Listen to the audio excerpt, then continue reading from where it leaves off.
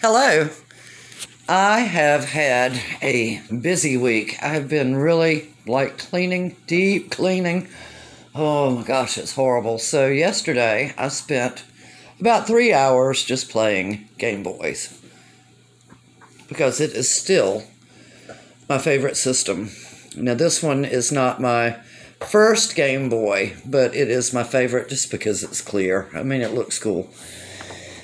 So, I've talked about Game Boys before, and what I want to talk about today is emulation for Game Boys and mods. So, what I really love about the original Game Boy is the screen. It's so beautiful. Okay, I'm lying.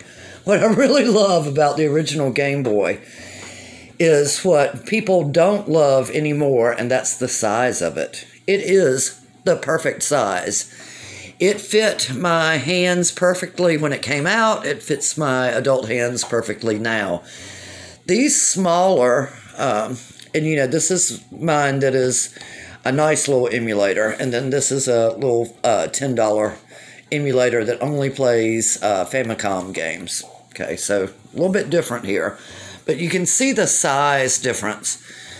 So I was trying to research, and I really believe I do not have the intelligence to own a Raspberry Pi. I don't think I can uh, keep it updated and functioning and working correctly, but I know the Raspberry Pi GPI case. There are two versions, a first one and a second one.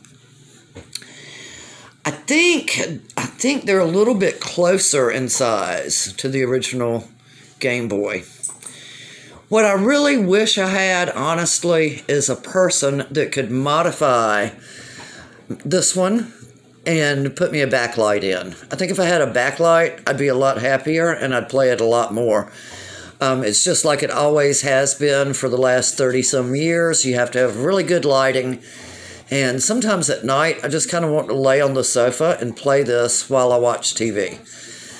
I um, people say, "Well, what is your absolute favorite game?" It's not Mario. It is this one. You know, I love skateboarding, and Tour de Thrash is my favorite Game Boy game. I can I can't tell you the hours I have put on this. So I have this multi cart uh, that you know I can I had. It had hundreds of Game Boy regular and Game Boy Color games on it, and then I added hundreds more that I was capable of doing. Um, you know, I had to watch some YouTube videos and learn how to um, get the ROMs and transfer the ROMs and all that, but I was able to do that myself. So I have and I own probably, without counting them, I would say about 80 original cartridges. Now, back in the day, people don't realize this. These games cost $30 a piece when they came out. 3 0. So, I, you know, I was 18 years old when I bought my, my first Game Boy.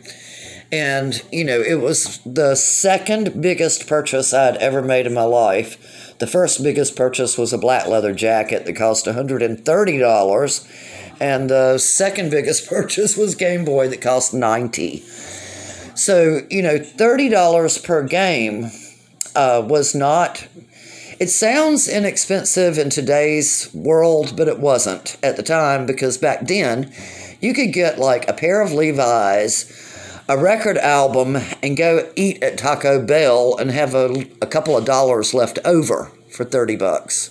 And I'm not joking. So, um, 30 bucks was expensive. And originally, I think I only had like maybe seven games. So I've amassed 80, and then, like I said, you get one of these, and um, you, you've got every one ever made. I've heard people say that they think this would damage your system. It doesn't. Uh, does it use more electricity than this cart? I don't think so. I think that I'm running batteries about the same. The the games on this to me are pretty much perfect ROMs. I don't have any problem running any of the Game Boy games on this Game Boy. Everything I try to play plays and it plays properly. So, um, you know, I don't have anything against emulation. What I have something against is I don't understand why everybody wants the mini systems, why they have to be so small.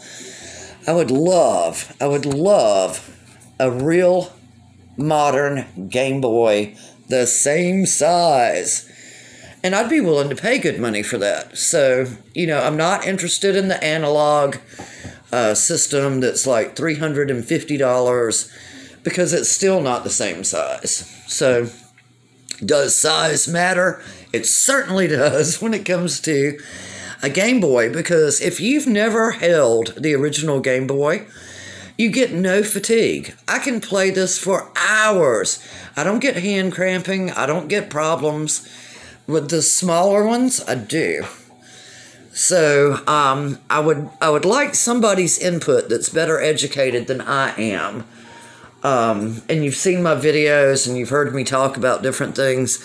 Do you think I'm capable of, of managing and operating um, the RetroPie? uh, GPI case. I'm not sure if I am or not. Oh, but I know where I can get a used one and it's a pretty good price, and I'm sort of thinking about it. Ugh, I don't know what to do.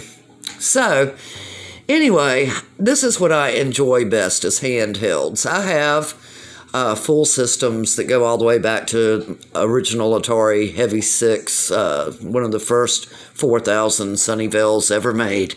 Ooh, that sounded so good when I said it. Um, but I really love a handheld, and this is what did it Game Boy.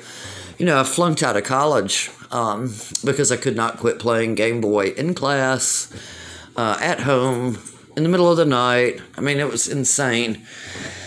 Um, I went back to college and did a little bit better the second go round, but just saying, I love a handheld system, and I love this one I just wish I had backlight. And if you were to go online and look to buy one with the IPS screen and the backlight and all that, it's it's sort of ridiculously expensive. You could do a ten dollar mod on this, but you have to have like uh, an ability to solder. And whoo, mm, yeah, I don't I don't think I have the capability to do that. What is your opinion on how I can solve that? Just keep playing this? Or buy the Raspberry Pi GPI case system with a better screen already on it at a reasonable price? Hmm. Decisions, decisions. Happy New Year. Here we go into the first of the year 2024.